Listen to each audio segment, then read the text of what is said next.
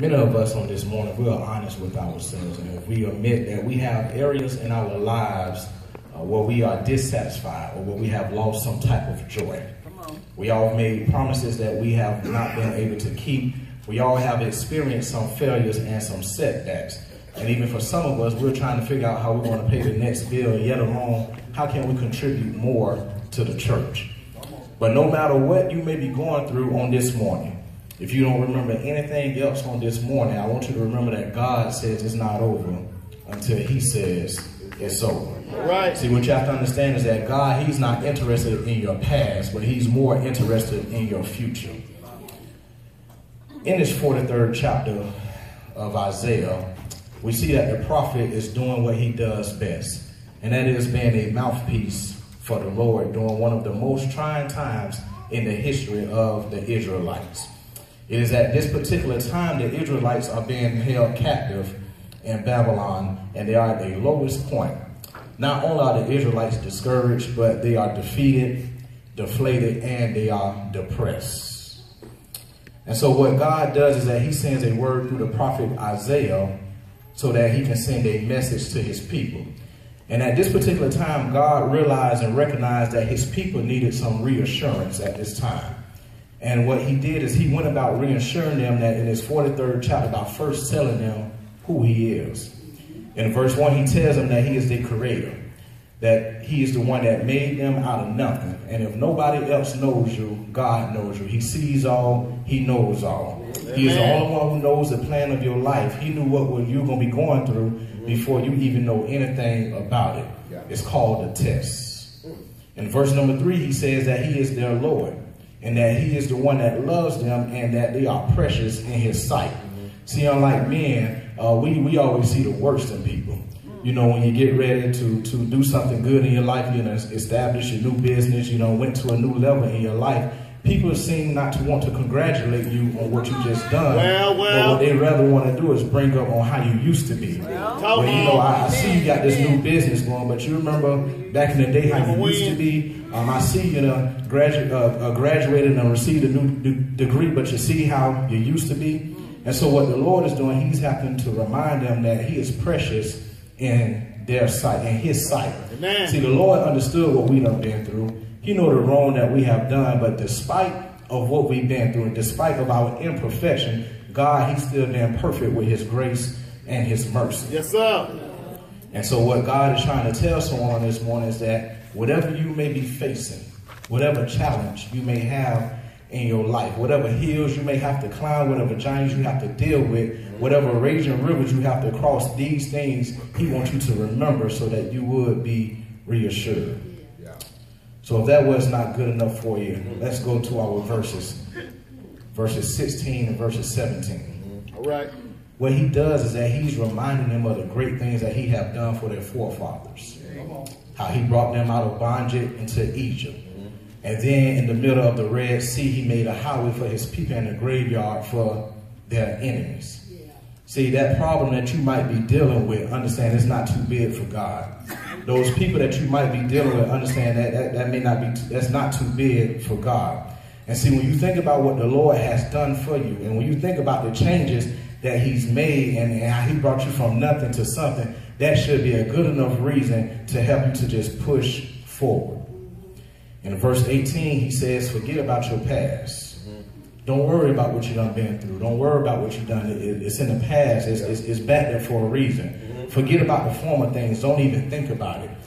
In other words, what he is saying in verse number 18 is that you thought I had a good thing for you going then, uh, but wait till you're about to see what I'm about to do. He said, I'm about to do a brand new thing. Brand new thing. That right there should excite you if you just yeah. think about, okay, Lord, what you done did for me was good. Yeah. I appreciate it. I'm thankful for what you've done, but Come you on. mean to tell me that you have something better else for me ahead?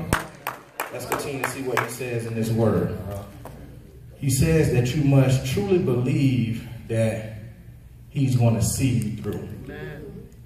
Sometimes we get so caught up in being in a situation and we not knowing how we're going to get out of this situation.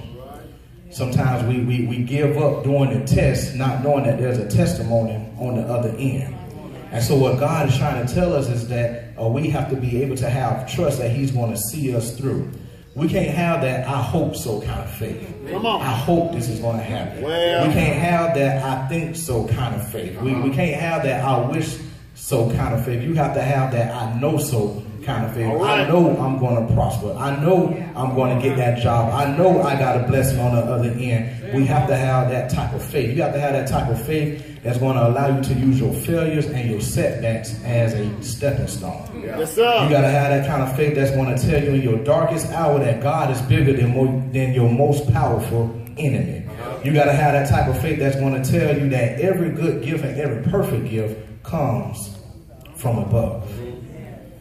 So in order to experience this new and amazing thing that God has prepared for you, mm-hmm. you must act on your faith. Mm-hmm. All right.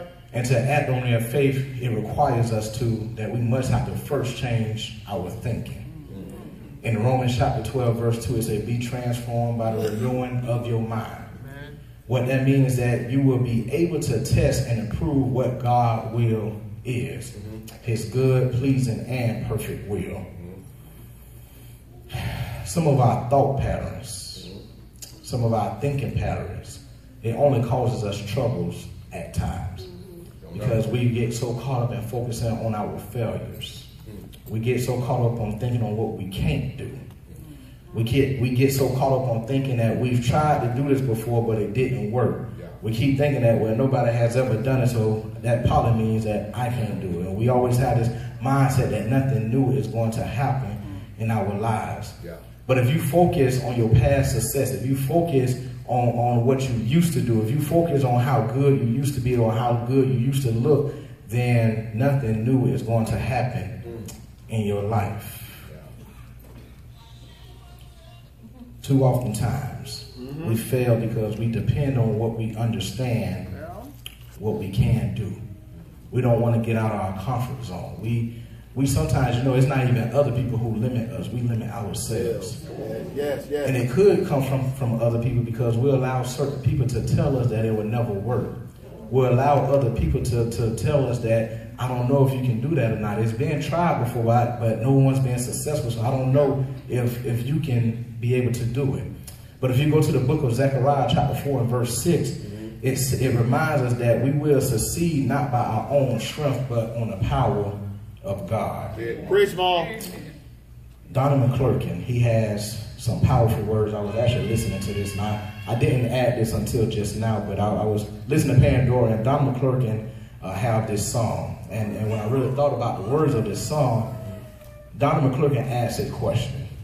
He says, What do you do when you've done all you can? That's right, that's right. and it seems like it's never enough? And what do you say when your friends turn away and you're all alone? Yeah. What do you give when you're giving your all and it seems like you can't make it through? When there's nothing left to do, you just stand and watch the Lord see you through. As I get ready to close, I just want to leave you with this message. When you are challenged in your life and you're not sure what commitment you should make, just remember the same power that got the children of Israel through the Red Sea is the same power that got us through phase one, and it's going to be the same power that will make a way through phase two. It is at this time that we need everybody at Northbound to just stand.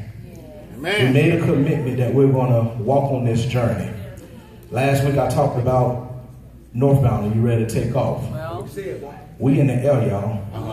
All right. We can't turn around and make no emergency landing. Because see what God took us through phase one is just a, a testimony of what he's getting ready to prepare us for phase two. All right.